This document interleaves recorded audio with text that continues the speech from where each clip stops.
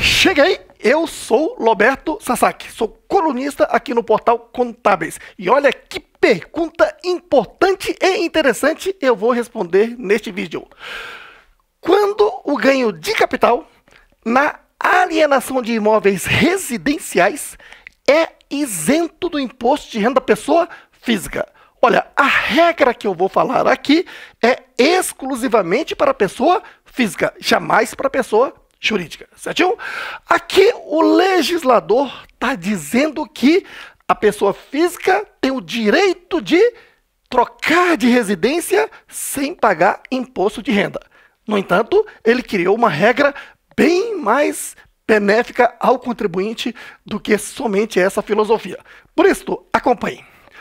O ganho de capital. Ganho de capital é o lucro na venda de imóvel. Por exemplo, comprou por 100 e revendeu por 150, via de regra, o ganho de capital é 50 reais. Certinho? Então vamos lá. O ganho de capital na alienação de imóveis residenciais é isento do imposto de renda da pessoa física, atendido aos seguintes requisitos. Que nos últimos cinco anos não tenha alienado imóvel ou imóveis residenciais com o benefício da isenção do imposto de renda e se aplicar o produto da venda no prazo de até 180 dias na aquisição de outro ou outros imóveis residenciais. Observação: a opção pelo benefício da isenção do imposto de renda é apenas uma vez a cada cinco anos. Se você observou, veja, é opcional ter essa isenção. Ou seja, se você fez uma venda de um imóvel residencial agora e, de repente, já tem no seu planejamento que vai vender outro imóvel residencial mais adiante, dentro desse prazo de cinco anos, com ganho de capital maior, e esse ganho de capital é pequeno, o atual que você está vendendo, então você, de repente, prefere pagar o imposto desse, deste atual, para deixar para ter a isenção no próximo.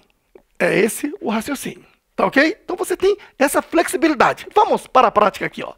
Aqui no gráfico do tempo, você vai ver que a regra aqui se aplica em três momentos: passado, presente e futuro. Então, no presente aqui, asterisco, certinho? Houve a venda de imóvel residencial e você recebeu o valor. Certinho? Aí você tem que olhar para o passado. Se nos últimos cinco anos a pessoa física não tenha vendido imóvel ou imóveis residenciais com o benefício da isenção, já atende ao primeiro requisito. Certinho? E veja que esta venda aqui teve um ganho de capital. A questão é, esse ganho de capital é isento ou é tributável?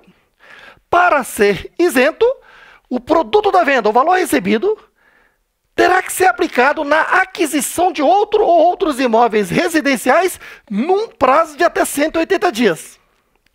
Nesse caso, esse ganho de capital é isento do imposto de renda. É esse o benefício que o legislador está dando aí. Certinho? E para se ter novo benefício é após cinco anos dessa data da venda. Vamos simular algumas situações. Situação número 1. Um, fez a venda à vista, portanto, recebeu o produto da venda, certinho? E comprou outro ou outros imóveis residenciais no prazo de até 180 dias, aplicando integralmente o valor da aquisição. Neste caso, esse ganho de capital é isento do imposto de renda, certinho? Agora, situação número 2 fez a venda à vista do imóvel ou vendeu e recebeu no prazo de 180 dias, tá ok? Beleza. Aí pegou e somente utilizou a metade deste valor para adquirir outro ou outros imóveis residenciais no prazo de 180 dias. Nesse caso, somente 50% do ganho de capital é isento do imposto de renda. Os outros 50% é tributo tributável. E quando é tributável, há que se apurar no mês da venda e pagar o imposto até o último dia útil do mês seguinte. Certinho? Situação número 3. Vendeu à vista e comprou, no prazo de 180 dias, imóvel residencial a prazo. Ora, se foi a prazo, você não chegou a aplicar o produto da venda. Nesse caso, o ganho de capital é tributável, não tem o benefício da isenção. Certo? Outra, vendeu à vista e no prazo de 180 dias comprou outro ou outros imóveis residenciais de valor superior ao valor do produto da venda. Não há nenhum problema, desde que você tenha como justificar esse complemento que você fez, esse plus na declaração.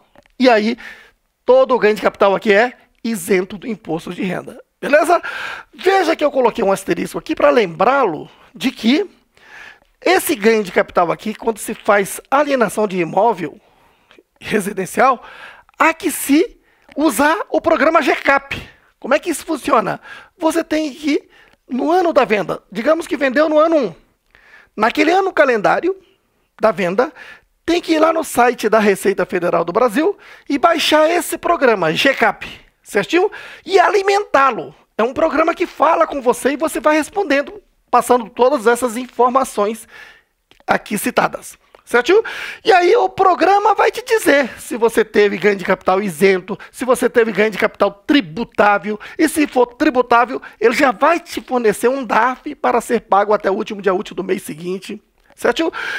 E no ano seguinte, no ano 2, você deve, na declaração do imposto de renda da pessoa física, importar uh, o GCAP, e aí, o GCAP já traz todas as informações preenchidas na sua declaração, o campo de isenção, o campo do imposto de renda, é, a parte tributável, né? Porque aqui já vai entrar na parte da tributação definitiva, enfim, certo? Então, o GCAP já, de uma só vez, já joga todas as informações para dentro da sua declaração de imposto de renda. Só lembrando que quando você vende imóvel residencial com o benefício da isenção num ano, no ano seguinte você está obrigado a declarar imposto de renda da pessoa física devido a esse motivo. Pode ter até outros motivos, mas esse motivo já te obriga a declarar imposto de renda da pessoa física. Entendido? Olha, se você gostou deste conteúdo, dê um like aí neste vídeo, inscreva-se aqui no canal Portal Contábeis e se quer saber mais sobre os cursos de imposto de renda da pessoa física que o Roberto ministra, acesse natacursos.com, Núcleo Avançado de Treinamento e Atualização Contábil Fiscal. Todo início de ano, geralmente no dia 2 de janeiro, eu já lanço um novo curso de imposto de renda da pessoa física por meio do ensino raiz, o único curso do mercado onde o professor vai para o quadro e te explica didaticamente toda a legislação com todo o treinamento. Tamo juntos!